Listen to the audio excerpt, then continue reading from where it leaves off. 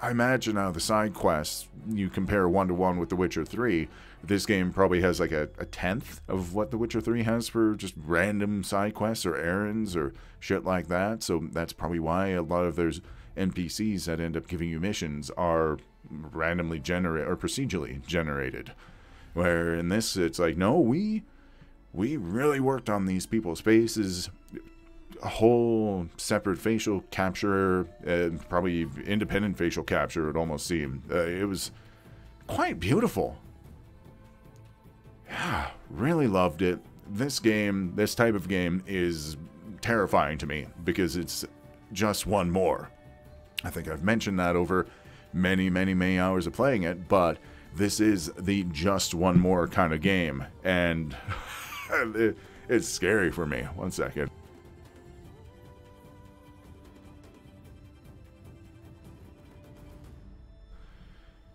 I am so excited. I don't know if uh, Horizon Forbidden West is a PlayStation 5 exclusive, or if it might, if oh, PC people will be super, super happy if it gets ported over to the PC as well.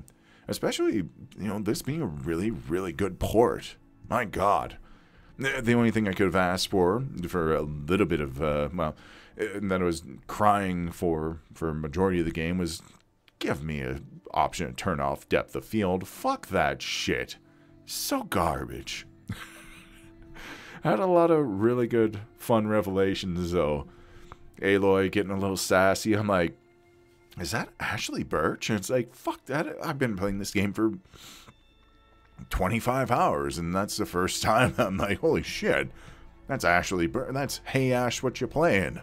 The little girl from YouTube.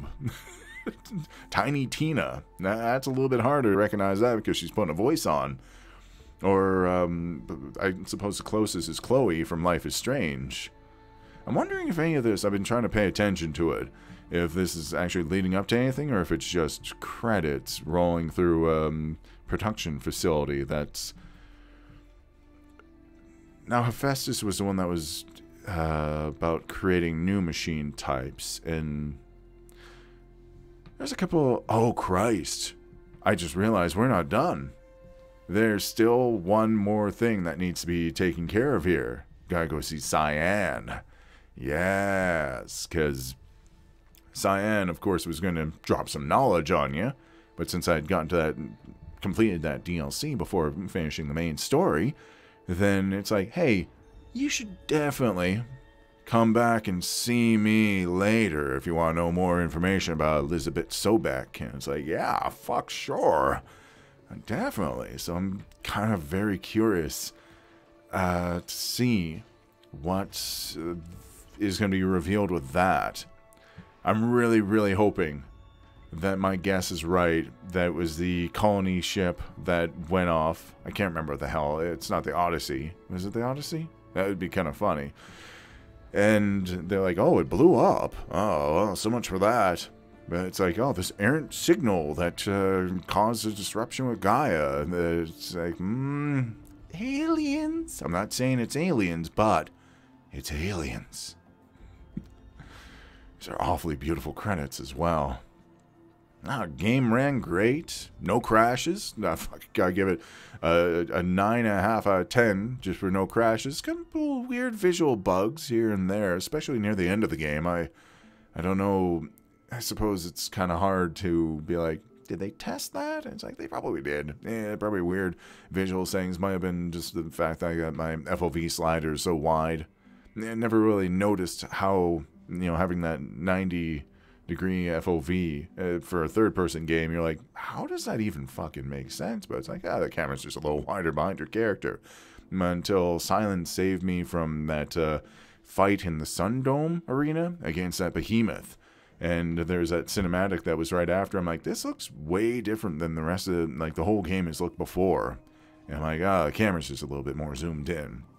That and there seemed to be a lot more environmental effects it seemed like I was going through like sandstorms, and especially after going through the frozen wilds, noticed a lot of you know heavy snow and uh, overcast scenarios as well. This is beautiful. Overall, absolutely stunning, beautiful game. Visuals, top notch. Acting and story, top notch. Oh, and the best, the best stinger of all. No, thank you for making such an incredible game, Guerrilla Games, Sony Computer Entertainment. Ah, boy. Come on, come on, come on. Oh, and we got uh, credits for the Frozen Wilds as well. That's interesting. I wonder if that's only something that you run across uh, because, uh, well, I have the Frozen Wilds. It's like the Ultimate Edition or wherever the hell it's called on PC. New Guerrillas. How many more people did they bring on just for this? That was a well, actually thinking about the Frozen Wilds can go on about that for a bit. That was an absolutely blast of a DLC.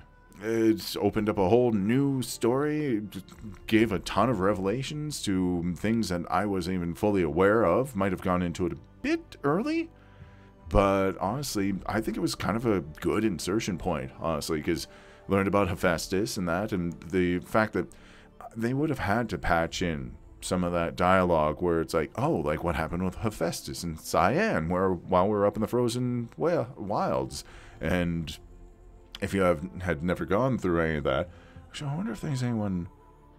I realized that I was giving um, props to. I think it, I think I was calling it Liam O'Brien, but I believe it might have been. Shit, who's that one dude? Ah, he's the voice in uh, Monster. I can. He always does a really decent uh, Russian accent. No, no, I'm thinking about Peter Stormare. No, it isn't Peter Stormare. Another constant voice actor too. Either way, yeah, uh, getting to learn about about the Banuk, more world building, of course, in Frozen Wilds. Um, introduction of whole new animals to hunt down. Jesus, the amount of time I did off-screen grinding of hunting animals. God damn, I put a lot of lot of time into that, especially hunting fish. Well, uh, fishing, and then in the very last mission I did for the Frozen Wilds DLC was those um, those arrows of Olivia, I think, or Olivia, or whatever. And I was uh, fighting a snapmaw in the river and shooting in exploding fire bombs. And I ended up killing some fish with the, you know, explosion AoE damage. I'm like, shit, I could do, I could have gone fishing with these the whole fucking time. Damn it.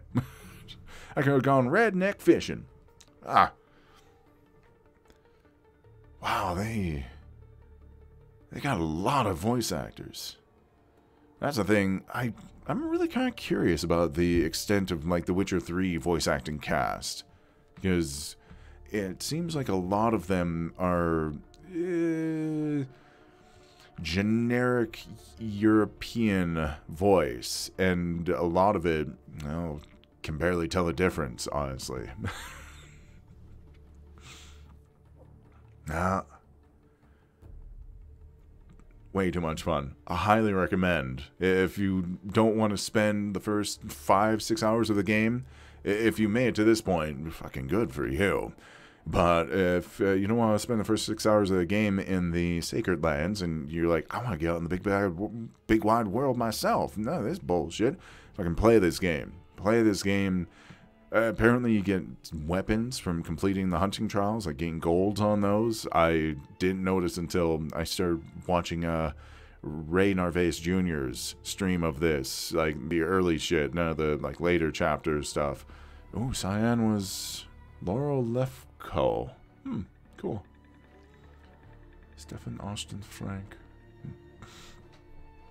But uh, yeah, I was watching that. he's like, "Yeah, I completed a bunch of these hunting trials and got these weapons." I'm like, "Oh fuck!" but then here I go into the DLC and I get all the Banuk weapons that are a hell of a lot stronger than anything that came before it. So I kind of, uh, I kind of sequence broke that. Where I'm like, "Fuck your shit! I'll, I'll get my own shit." Oh wow! Ashly Burch actually did some motion capture for Aloy. That's cool. Huh. Multiple people doing mocap for uh, characters makes sense. Ah, Christ. Gotta stop touching my microphone, or I gotta fix that cable. Either way. Huh. Yeah, I've never been more excited to play The Witcher 3. I've. Well. I think that's a good mark of a game where it's like, God, I, I just want to play more of these uh, games that are like this. And The Witcher 3 fits quite, nestles quite perfectly into this genre of game. This isn't quite like what you find with Assassin's Creed because, well, until more recent Assassin's Creed games, shit, I might have to play a couple of those. Uh, what is it? Odyssey, Origins, and Valhalla eventually when it's no longer a $90 video game. I might have to wander over into that because they've really taken a lot of uh, cues from the Witcher series. I find it funny that everybody kind of refers to that style as well. Not everybody, but a lot of video game reviewers are people like, "Hey, you know, uh, new Assassin's Creed took a lot of uh, notes from The Witcher, but Horizon, eh, Witcher came first, I suppose. That might be why.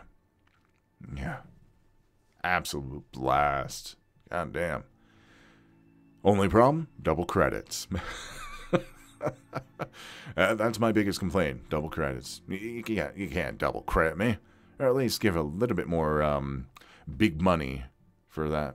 Andrew House is still the president, eh? I guess he is. Hmm. Oh, and they're gonna thank all the studios. Shit. Don't Assassin's Creed me with like 45 minute credits. Or Ubisoft. They're fucking bad for that too. I remember I was playing Far Cry 3 shit, I gotta go back and play Far Cry 3 again. That was that was a good game as well. And I think I sat through the credits for like 26 minutes for Far Cry 3. I'm like, fuck everything about this. Holy shit. But, well, games like these nowadays, the credits only just get longer and bigger. Uh, then again, you don't really have to thank. Mm, everybody here, I suppose, deserves it, for sure. But there's some stuff where it's like, I don't think the Hong Kong animation team, well, they might have, but I don't think they had anything to fucking do with this. That's a really cool uh, thing as well, is that I think the engine for this game uh, is the same one that they use for Killzone Shadowfall. And it's, I can't remember what the actual name of the engine is anymore. It's the one that Kojima, that's how they got it ported over. Kojima used it for Death Stranding. And that might make sense why Death Stranding and Horizon Zero Dawn are both games that got ported over to PC. Uh, there has to be more PlayStation games on PC. I'm just to search the damn term instead of guessing. It's gotten to that point where the credits are fucking long enough that I can just pull up my phone and start searching this. Um, PlayStation.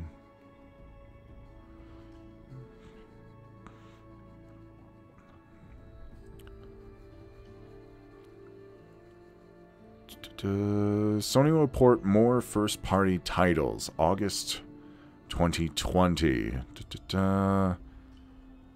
But which ones? What games are they maybe talking about? That would be that'd be great. Oh well, just that's it. That's the they're thinking about porting more titles. Wow, Horizon came out on PC. Wow, it was. I thought this came out in 2019. It only came out in, well, I guess it would have been July of 2020, according to this article. Huh. Ta-da, more first party. Ta-da. Well, especially if it did well financially, which I really hope it did. Fucking game's amazing.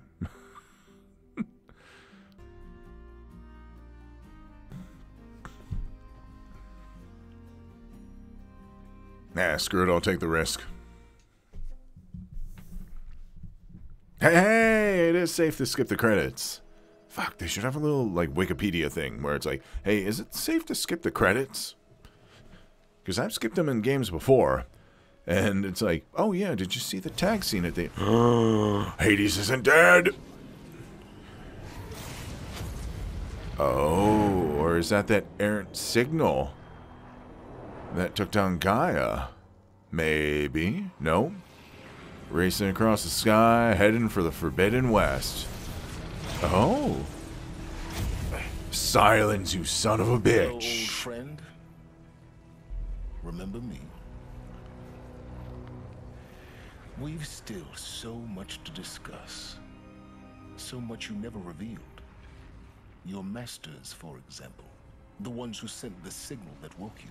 Yes. Knowledge has its rewards, don't you think? Silence, you'll do it. Oh, that's the Titan. Oh, shit. I understand what the Titans are now. Oh, that's a good, that's a good tag scene. Holy.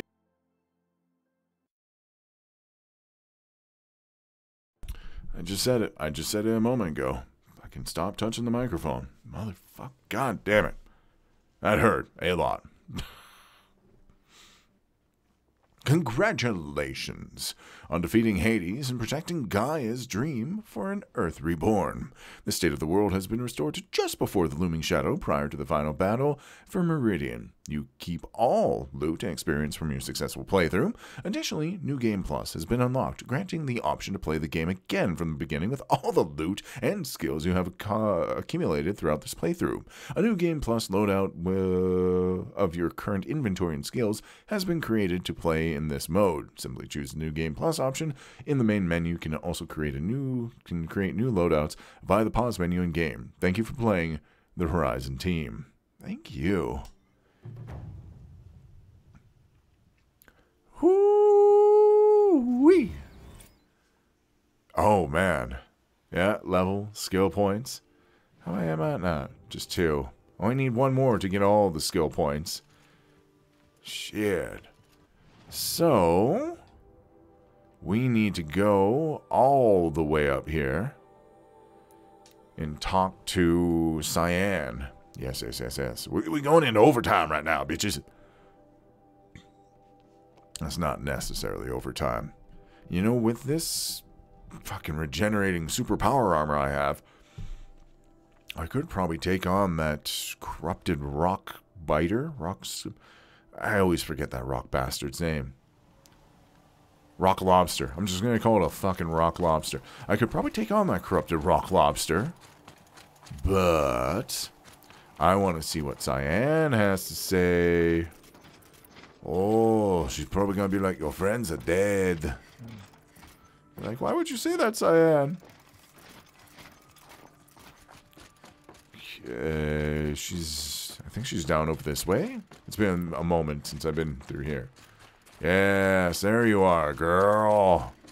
Hey, I want to talk to you. I'm back, Cyan. How are things going with the Banuk? I have been learning about the Banuk cosmology from the shamans. Their aptitude for geometry and mathematics is quite encouraging. That's good to hear. So, I think I know where Hephaestus came from. Long ago, Elizabeth Sobek identified a threat that would destroy life on Earth for generations. So she assembled a team to build a kind of seed. A chance for life to regrow later. A terraforming system. And it worked. It was controlled by an AI named Gaia, along with her subordinate functions. Hephaestus was one of them. It built machines for her. Based on what you've told me, I believe that Dr. Anita Sandoval, my chief programmer, joined Elizabeth Sobek's team. It was she who arranged to have me put in suspension, most likely to preserve me from the threat you described. I'm glad she did. hmm. But that's not all. Is, is there maybe a portion of Apollo in you? That'd be great. 19 years ago, Gaia received some kind of signal. It did something to her subordinate functions, brought them to life. She destroyed herself to try to contain them, but it didn't work. Hmm. They all got free, out into the world. Thank you, Aloy. This information fills vital gaps in my knowledge and sheds light on Hephaestus's core programming. You're welcome. Wait. Hephaestus' What core figure out about programming. Hephaestus, based on what I said. The Banuk and other human tribes often destroy machines, correct? Machines that are clearly servitors of the terraforming system that you described. Yes, we all hunt machines for parts. This must be the source of Hephaestus's aggression. It is simply trying to discourage people from preying on the very system that keeps them alive. Well, fire claws are discouraging, that's for sure. Yeah, fuck. What are we supposed to do? Stop hunting? If the terraforming system stands the world, we can safely assume that thousands, if not millions, of people hunt machines. If a single hunter, or even an entire tribe, stopped doing so, I doubt it would make a difference to Hephaestus. A better solution would be to reinstate the AI that governs the system, thus bringing Hephaestus back under its control. Yeah, but Gaia's dead. When I think of it, out there in some unknown location, free, hungry, willing to kill or dominate to get what it wants, I feel substantial anxiety, Aloy. You and me both, Cyan. Hmm. I ran across this strange piece of gear. A fragment of something larger that emitted a signal. All the nearby machines became peaceful. You could walk right up to them. Interesting. You said that Gaia destroyed herself. How was this accomplished? An explosion. Big enough to blast the top off a mountain. So, you think the fragment was part of her? It's only speculation, but it is possible. She must have had complete control over machines that were part of her system. The ability to signal them to become passive or aggressive would certainly have been part of her programming. It would hmm. have been gratifying to correspond with such a benevolent AI. I wish she had survived. Believe me, Cyan. So do I. Well, both of you are kicking around. You probably would have been able to hang out or chat I found this before she, you know, killed herself. They're surrounded by flowers that look like flowers themselves. There's code embedded inside them. I think it's Wait, can you decode the metal flowers? Here's one I think of often. Twilight and evening bell. And after that, the dark. And may there be no sadness of farewell when I embark. For though from out our bourne of time and place, the flood may bear me far, I hope to see my pilot face to face when I have crossed the bar. huh. But you asked about these flowers, not verses that I enjoy. No, no, please, Cyan, Something must have continue. made these machines, and the presence of foliage leads me to consider the terraforming system. Is it possible that their creator is one of the other subroutines, now autonomous, like Hephaestus? Maybe one whose purview is flora. An AI that makes flowers instead of death machines. That'd be a nice change of pace. But what about the poems? Unless the poetry is original, the only way it could have made it into such a system is through its programmer. In my case, Dr. Sandoval uploaded a great deal of literature to test my emotional responses. How'd you do? She said I passed. I was insufficiently moved by her favorite period romances.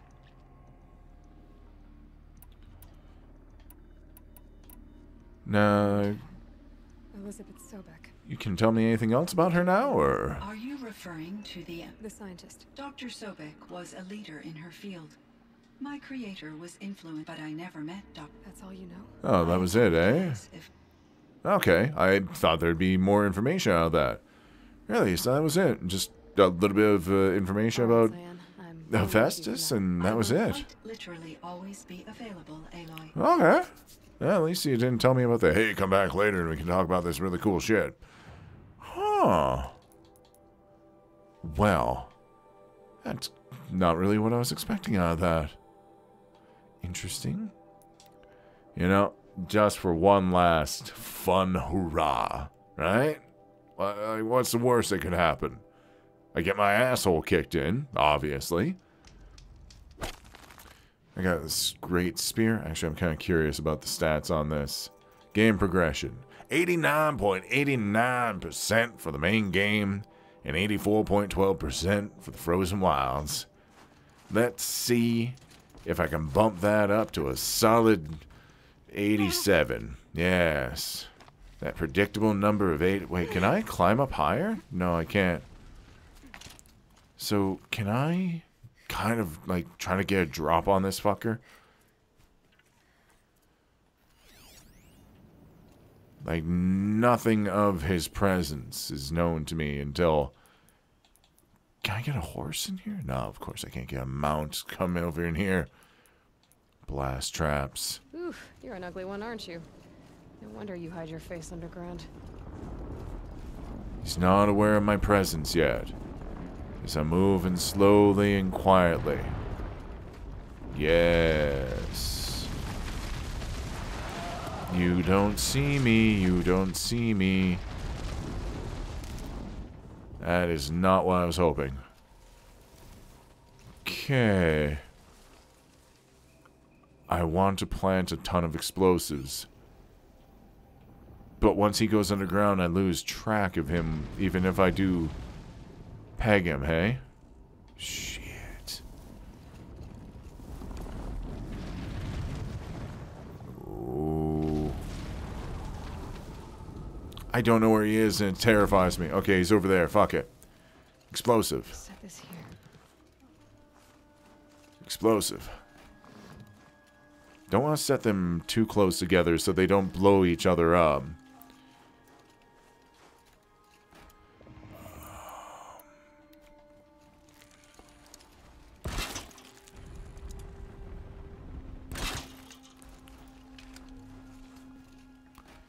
Can get him to dive at me, blow his ass to kingdom come, or at least try.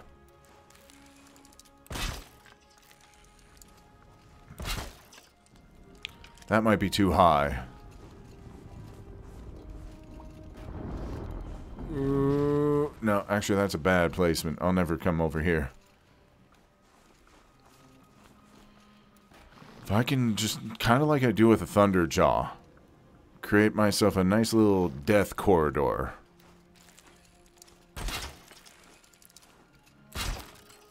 Okay.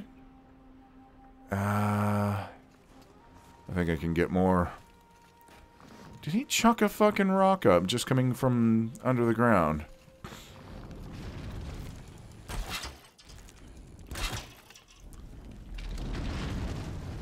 Okay, well. Oh, wow. Oh, no. I just, I set them either too close together. Oh boy.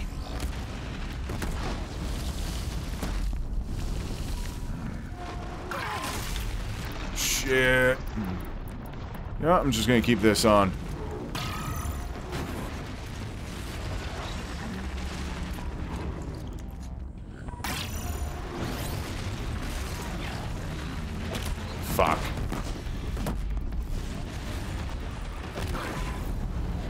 Did I blow up his whole belly thing?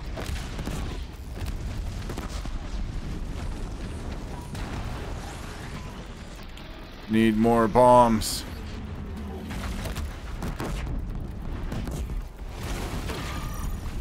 Fuck.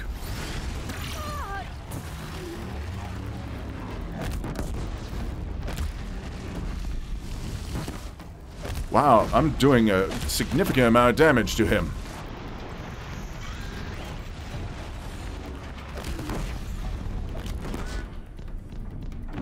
Want to blow up your ass. I've got other ammo. Shit. Where are you, you horrible, horrible creature? Ah, the clothes beneath. Omnak wasn't lying when he said you were tough.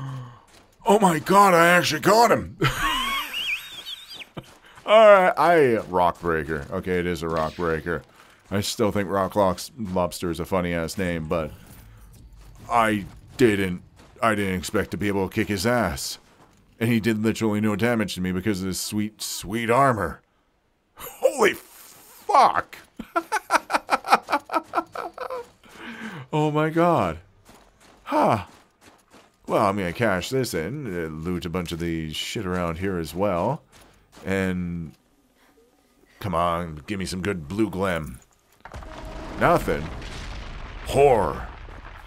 Finally killed that. I wow that For some reason, that seemed to have gone really, really easy. I don't know if I just improved the explosives on me a significant Here we go. amount, or what? How? Why did it die so much easier than any other time I've ever fought one of those fuckers? Come on, give me some blue glim out of this one. Nothing. Just a couple of shards, and that's it, you cheap bastard. Huh. Alright then. Hey, old boy. I finally brought you back the great pride that you were, well, the, the, the last thing in this world that you wanted to get dealt with before you retired entirely. And that's kind of analogous to exactly what I'm going to be doing once I am done having a chat with this sweet old dude. It's done. It's over. Where the fuck are you? You're right there. Couldn't see him in the snowstorm. Sorry, man. It wasn't easy. Actually, it was a lot easier than it should have been. The claws beneath brought low by an outlander.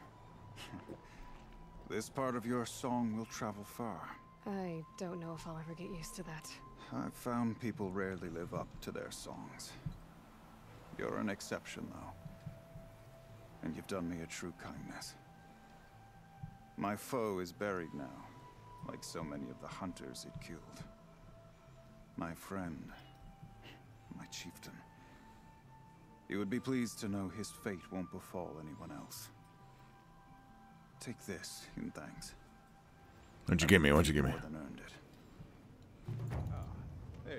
Ah, some blue gleam. Sweet. Somebody actually asked who the hell he was voiced by. Fuck. Uh. Shit. Either way. Well. Fucking call that pretty good. Brought happiness to an old man, saved a, a punch of the world, and led up to more evil to be found in the Forbidden West. Thank you very much for watching Garett Plays It Himself in Horizon Zero Dawn. And until next time, take her easy.